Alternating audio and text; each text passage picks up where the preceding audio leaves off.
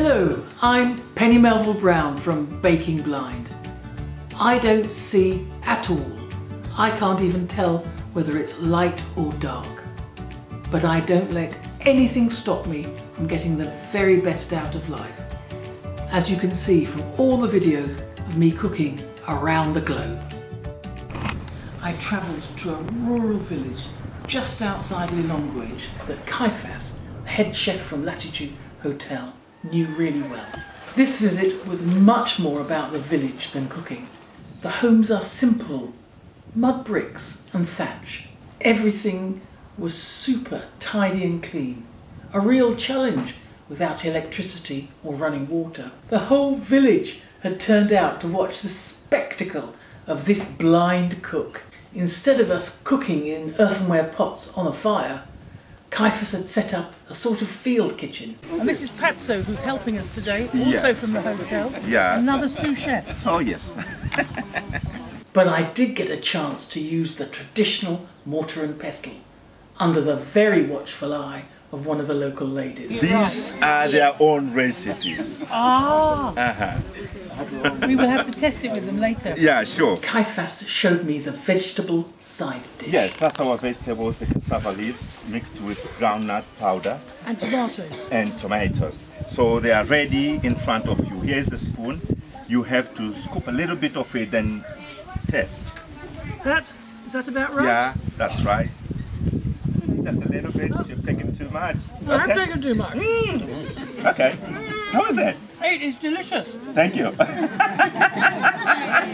Excellent. Wonderful. That is really nice. Okay. so our vegetables will be going with nsima, Yes.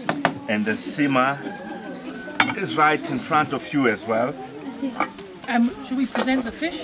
The fish as well. Sima is a very traditional and common food in Malawi.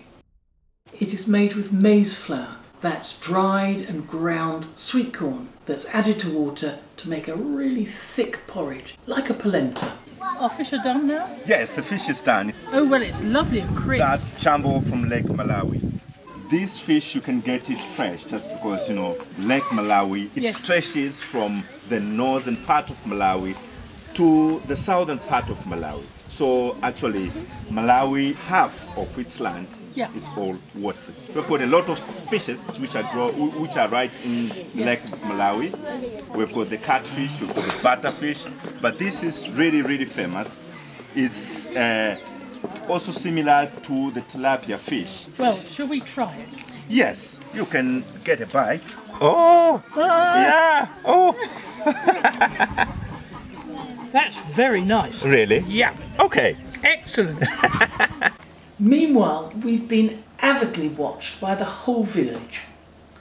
The women, the children, and the adolescent youths just hung about being cool. I was very grateful to Mphatso, one of the sous chefs from the Latitude Hotel.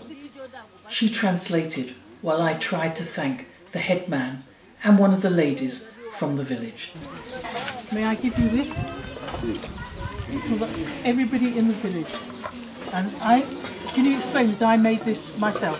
anabanga ukhalimandla oh. Yes. Thank you so much.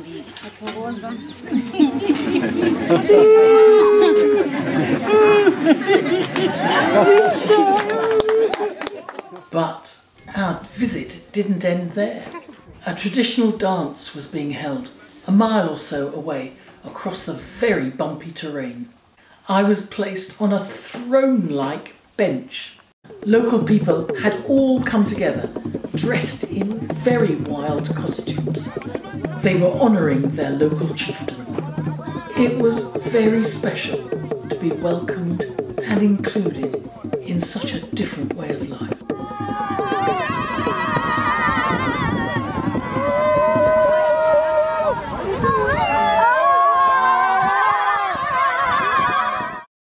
Next time, more local people facing even bigger challenges.